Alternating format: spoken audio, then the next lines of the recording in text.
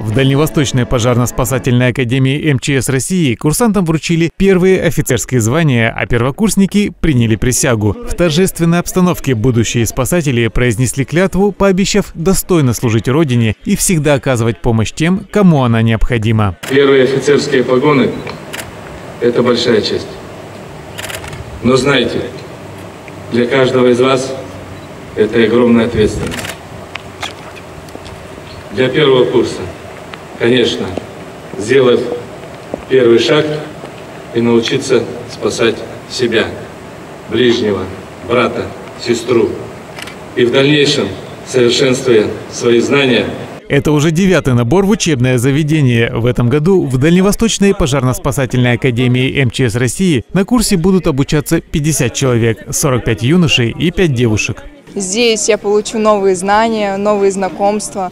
А, также поняла, что меня дают надежные руки к офицерам, которые меня научат также как дисциплине, каким-то новым знаниям, профессиональной деятельности. Сейчас уже как-то посвободнее, полегче стало на душе, потому что было какое-то волнение, напряжение. Как-никак все-таки этот ответственный момент был. И готовился ко всему, к вступительным экзаменам. Занимаюсь уже пожарным спортом 9 лет. Вот, и на протяжении всех этих времен занималась здесь, участвовала в соревнованиях, естественно, знала, что такое курсантская жизнь, от ребят слышала и так далее. Вот, и захотела тоже поступать. Поддержали курсантов в важном шаге и близкие люди. Наш сын еще шестого класса мечтал э, учиться в этой академии. То есть он шел к этому очень осознанно. Вот сегодня мы приехали на присягу, все смотрели, все видели.